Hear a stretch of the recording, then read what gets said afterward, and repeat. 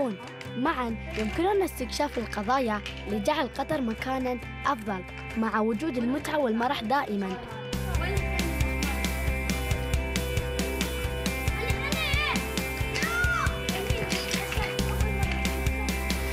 أنا جواهر خبيرة المراقبة للفريق. أحب التصوير وعمري 11 سنة. نبي الأزرق. اسمي عبد الله عمري 11 سنة. أنا خبير البيئة الصحراوية.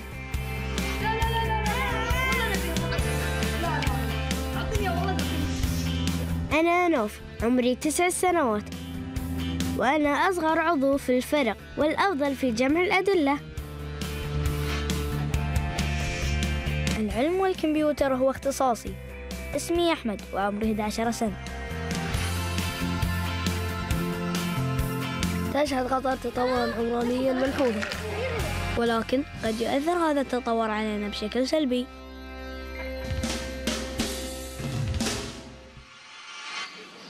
شريط فيديو حق تحقيق هالأسبوع وهذا الشيء مهم جدا لي.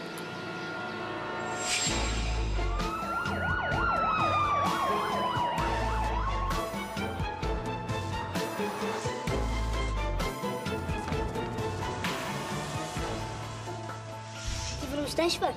متى كنتي في المستشفى؟ صار. آه عندي ربو زاد علي وفي واحد قال لي إن سبب الربو إن الغبار اللي في الهواء. يمكن بسبب بنيان في البلد. هالشيء يستاهل نحقق عنه. إيه خلونا نحقق في مواقع البناء ونجتمع هني مرة ثانية ومعنا الأدلة. طيب يلا نمشي.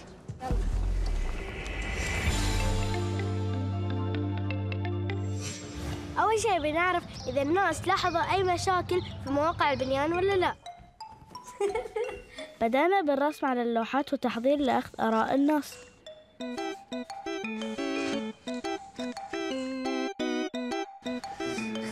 بالمقص ولا بالمسطرة أحسن؟ ما أعرف أقص بالمقص المسطرة بيطلع غلط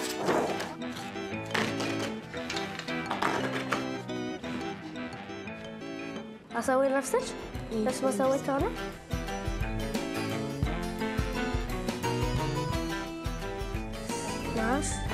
ما حتى ثنتين فريولي خطر أبرجع بشاعة المنظر. يعيد حركة المرور. قمنا ببناء كشك لبدء استطلاع للرأي حول ما يزعج الناس عن القضايا الرئيسية في مواقع البناء. شو اللي يزعجكم في أعمال البناء؟ اخذ الحصة واختار اللي تبيه. شو اللي يزعجك في أعمال البناء؟ آه الغبار أوكي اخذي الحصة وحطيها. الغبار إي. أوكي مشكورة. وأنت؟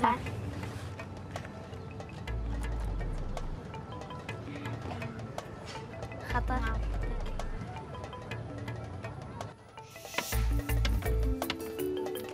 الحين تأخذي الحصى وحطي في المكان اللي تبينه الغبار سوء الصيانة أشعة المنظر.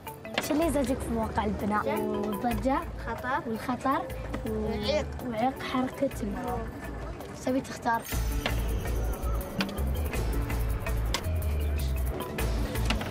مشكورة خلينا نعد الغبار. واحد اثنين اثنين وعشرين ثلاثة وعشرين أربعة وعشرين. كانت النسبة الأكبر للغبار وجاء في المركز الثاني الإعاقة المرورية. والثالث الخطر. قد تسبب الحفريات عقدة الحركة المرورية مما قد يسبب زحمة في الشوارع وبالتالي يؤثر على الحالة المزاجية للإنسان. تؤدي هذه التقلبات المزاجية إلى الإصابة بالأرق واضطراب الجهاز الهضمي وارتفاع مستوى الكوليسترول في الدم. صراحة نجاح ممتاز. حصلنا على مواضيع أكثر من اللي كنا نتوقعها وأحسن شيء نبدأ الشغل الحين.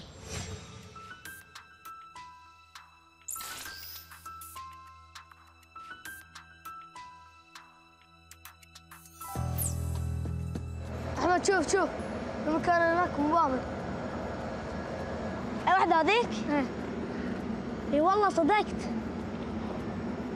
تعال خلينا نكتبها في الدفتر. قررنا الذهاب إلى المبنى وفحصه من الداخل.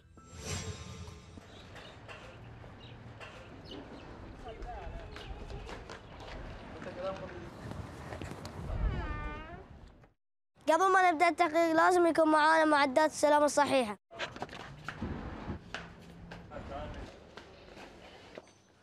عبود!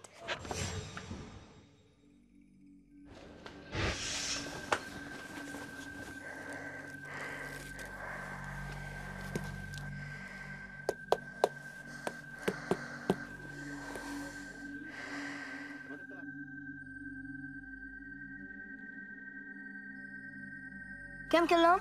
كلهم 125 أوكي. أحد يشوف حصلنا على معدات السلامة المراقبة اللازمة لتحقيقنا. يلا تعال سننتظر حلول الظلام حتى نتفحص المكان. في هذه الأثناء كنا أنا ونوف نقوم بالمراقبة الخاصة بنا.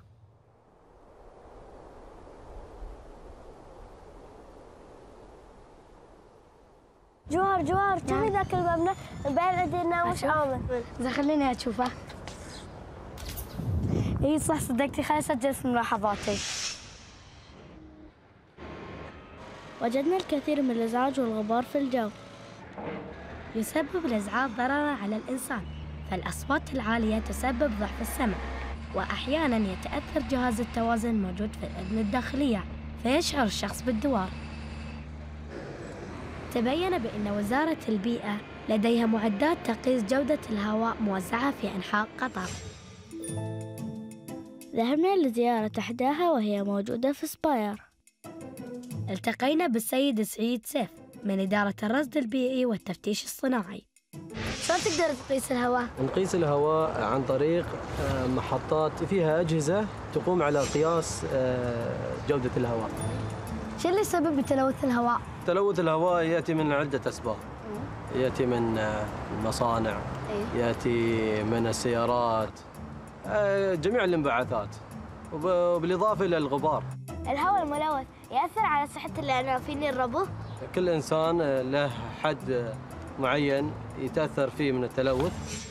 الغبار هو خليط لأجزاء صغيرة ناعمة مع الهواء. يحتوي على عدد من الجراثيم والبكتيريا المسببة لأمراض الجهاز التنفسي مثل الربو والتهاب الشعب الهوائية والسعال. شوفوا هذه الأجهزة. هذا هذه الأجهزة اللي إحنا نقيس من خلالها جودة الهواء. ثاني أكسيد الكبريت أكاسيد النيتروجين الأوزون الأرضي أول أكسيد الكربون الميثان وغير الميثان ومجموع ال hydrocarbons. أما هذا الجهاز يقيس آه، الغبار العالق. الأجهزة هذه والقراءات متصلة بهالكمبيوتر ياخذ كل البيانات ويحطها كرسوم بيانية. ومن هالكمبيوتر يتصل مع الكمبيوتر المركزي الموجود في وزارة البيئة. وفي وزارة البيئة طبعا من كذا محطة نجمع البيانات. إنزين. ونعمل تقارير. ونرفعها للمسؤولين. حسنا. لقد قمنا بقياس جودة الهواء. ولكن ماذا عن المشاكل الأخرى التي أشار إليها الناس في الكشك؟ حل الظلام وبدأنا العمل ألو ألو الفون الفون حول حول ارسل ارسل دخلت المبنى حول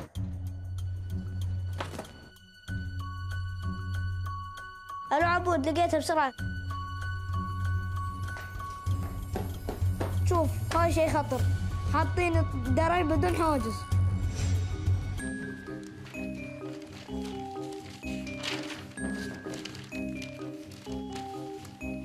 شوفوا شوفوا إيش لقيت في الجريدة لقيت؟ حفرة؟ آه، عميقة تهدد الأرواح. لقيت آه، قصة قصة ولد كان يلعب في الفندق وكان في حفرة عميقة. ويوم كان يلعب صوبها طاح في الحفرة. والعمال شافوه وراحوا عشان ينقذونه. حاولوا بس ما قدروا. آخر شيء قدروا يطلعونه من الحفرة واتصلوا حق الإسعاف وخذوه. وصلوا المستشفى حاولوا إن يسعفونه بأسرع وقت. ويوم درى أبوه بالسالفة آه، قال أنا ما راح أسكت على الموضوع وتموا يحققون في الموضوع. فالأبو اشتكى عشان يعرف إيش اللي صار وشي. وبعد شوي بعد في 60 60 منزل مخالف مدينة خليلة. شو زين يعني الدوري الحين دقيقة حتى لقيته هاي؟ أيوه يا هذا ليش ما نحقق في الموضوع؟ أوكي يلا.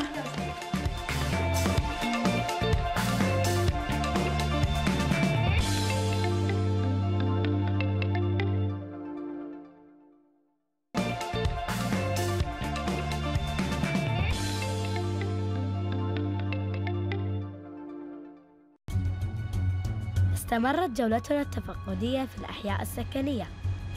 وجدنا مباني في حالة يرثى لها. جدران مشروخة أنابيب مكشوفة أبواب مكسورة. من الواضح أن هذه المباني تفتقر للصيانة. قد تتسبب العوامل المناخية مثل الحرارة، الرياح، الرطوبة والأمطار بظهور عيوب المباني مع مرور الزمن. ولكن من المسؤول عن فحص هذه المباني؟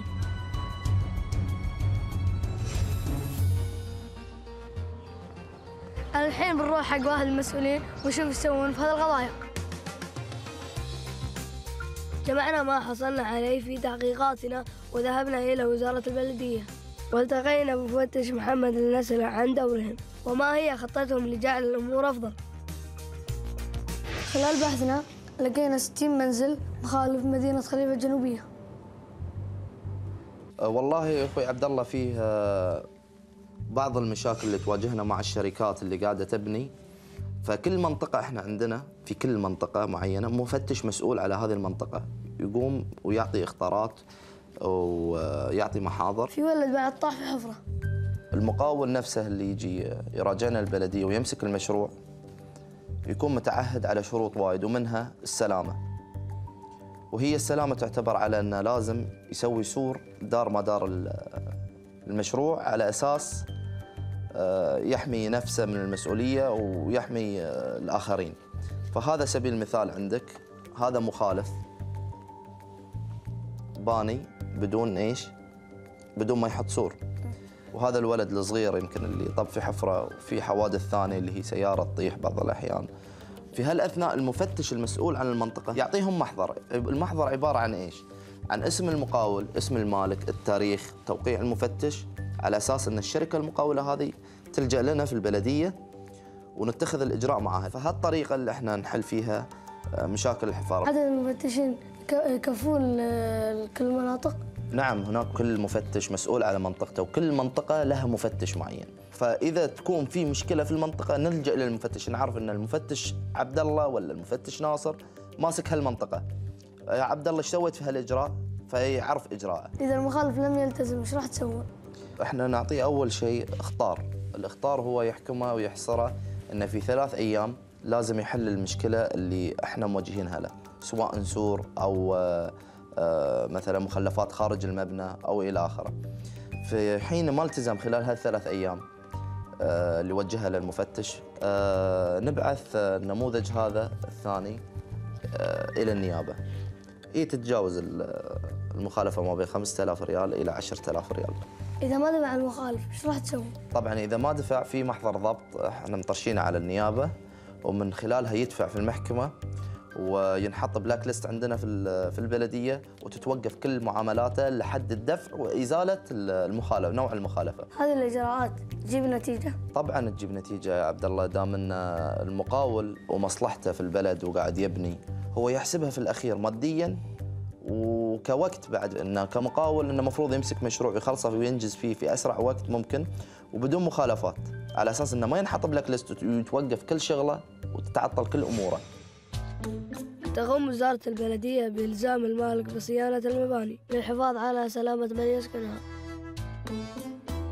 قررنا أن نذهب إلى موقع بناء آمن لنعرف كيف يجب أن يكون السلام عليكم ممكن تدليني على مواقع بناء آمنة في الدوحة؟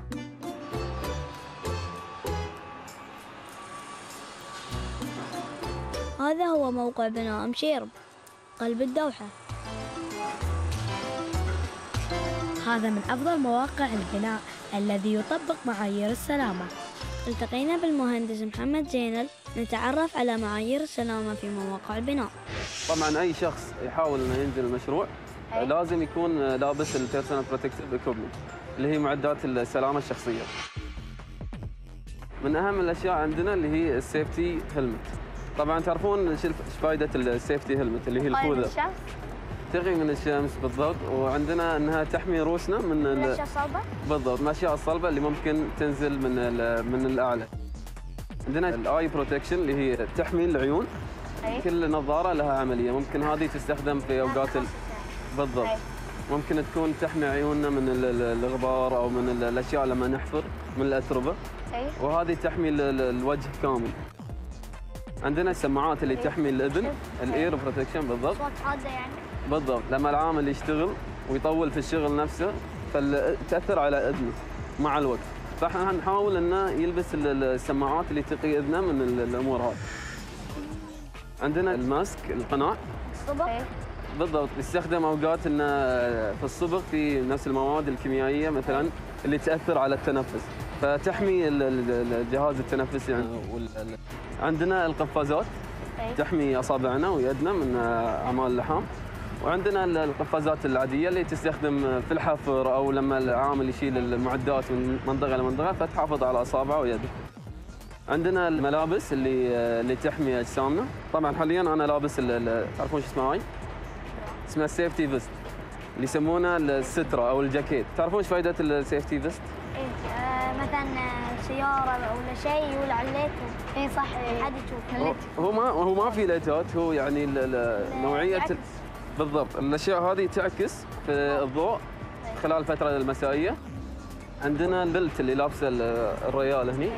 هذه فائدته انه لما لما الشخص بيشتغل في مكان مرتفع يركب الدرايش يركب شيء ولا أيوه يركب الدرايش أو يركب الأمور هذه. فيحاول إنه يربط نفسه في مكان صلب. أي. إنه في حالة إذا لا قدر الله طاح أنه يكون متعلق. عندنا اخر شيء اللي هو ال safety shoes أهميته أنه يحمي ريل من ال- ممكن في في موقع البناء تحصلين أي شيء أي جسم. مسمار ممكن. ففي أسفل ال safety shoes. في نفس قطعة حديد إنها تحمي الريل من المسامير من الأشياء الحادة. ونفس الشيء حق الأصابع تحمي الأصابع. لو لا قدر الله شيء طاح على ريلك ولا دعمتي شيء. فهالشيء يحمي يحمي ريولنا. دعانا المهندس محمد إلى المشروع ولكن على ما يبدو لم أكن ألبس اللباس المناسب. أحمد آه، ما نقدر ننزلك آه، وأنت لابس الثوب. ممكن الثوب يتعلق في أي شيء في الموقع ويأثر على سلامتك. فأحمد لازم أنت تروح تبدل الحين. وبعد ما ترجع لنا إن شاء الله راح نعطيكم ال- الأدوات الضرورية للسلامة عشان ننزل الموقع.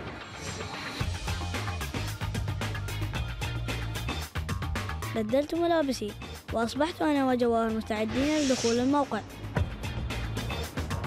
عندنا اللوحة هذه تبين حق العمال اللي في المشروع أهمية استخدام الأدوات السلامه ففي صور عندنا هني توضح شنو الأخطاء اللي ارتكبوها الناس اللي قبل. طبعا هذه الصور مش موجودة عند المشروع ماخذينها من برا المشروع. فإحنا نحاول ننبههم قدر ما نقدر من خلال الصور هذه حتى ما يرتكبون هالأخطاء.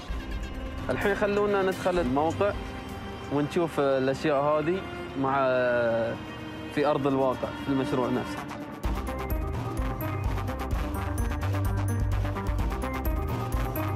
يعتبر مشروع مشيرة بقلب الدوحة أول مشروع مستدام لتطوير وسط المدينة على مستوى العالم. ويعتبر من أفضل المواقع التي تطبق معايير السلامة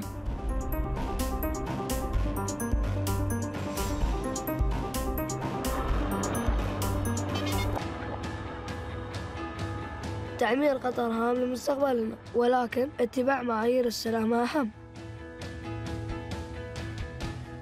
النتائج اللي حصلنا عليها من التحقيق في مواقع البناء. مواقع نظيفة ومرتبة. مواد البناء زينة. أدوات غاية ما في غبار وايد. في الأسبوع القادم سوف نحقق عن ظاهرة التدخين. كيف يمكن الحد من ظاهرة انتشار التدخين في الأماكن المغلقة؟ ما هو تأثير التدخين السلبي علينا؟ سنبحث عن الحلول المناسبة للإقلاع عن التدخين. ممكن تقول لي؟ أيوه. أيوه. نروح نجرب حظنا. يلا يلا.